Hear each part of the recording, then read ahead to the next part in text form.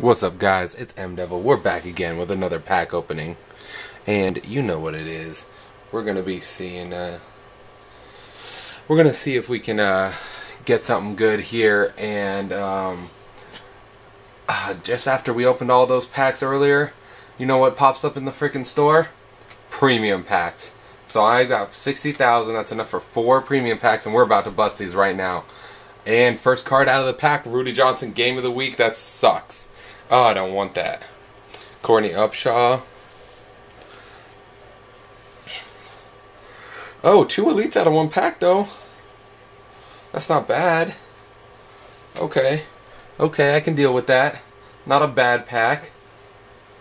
And Zach Brown might be in that collection. Send him to the reserves and let's move on to the next pack. Okay. Oh, no, I hit the wrong thing. Okay, this is M-Devil Gaming, and you know what? We wasted so many coins opening All-American packs, and now, you know what? I just wish I would have saved all my coins hunting for that Eric Berry. I don't even know if they're all gone yet. There might be Eric Berries left in this world.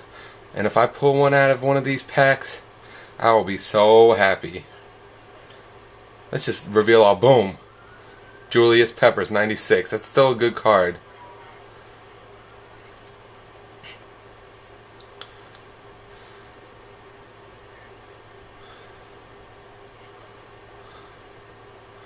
Victor Butler, okay.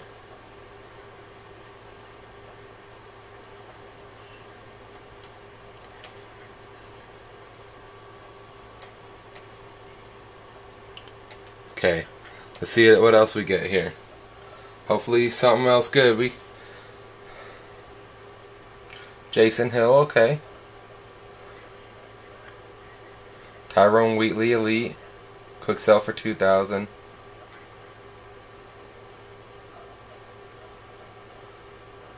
Ray Rice, Austin Pettis, Ohio State. Not too shabby of a pack there. Okay. Send those all to the reserves and we're moving to the next one.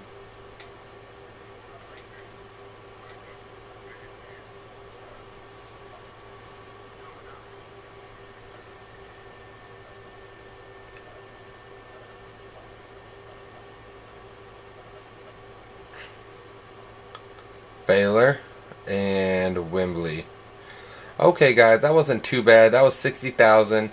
I pulled a couple of elites and a few decent guys. And yeah, that's basically about it. So that's it for this pack opening.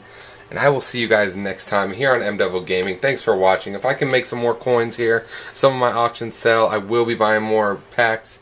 But these premium packs are very rare and they don't be popping up all the time. So if the, if one pops up, I'm gonna try to do some more. So see you guys next time here on M Devil Gaming.